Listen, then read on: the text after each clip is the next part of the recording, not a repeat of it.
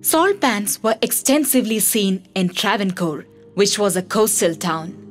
Salt manufacturing was encouraged, an improved system was adopted, and depots were set up for trading. Reverend Samuel Mateer, in his book Native Life in Travancore, mentions about Velans from the Hunter tribe guarding the customs houses known as chowkis set up by Ramayan Dalava for collecting duty on goods exported and imported to the state. Coarse salt was taken out in bullock carts after paying salt tax or uppuchungam. Salt production was done by slaves who toiled not for wages but for a right to fish in the backwaters. The profit from salt sale amounted to rupees 12.5 lakhs in 1880 CE.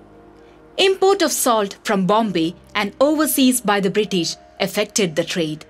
British residents imposed fine for salt production. The Salt Satyagraha, launched by Gandhiji on March 12, 1930, had its impact in Kerala too.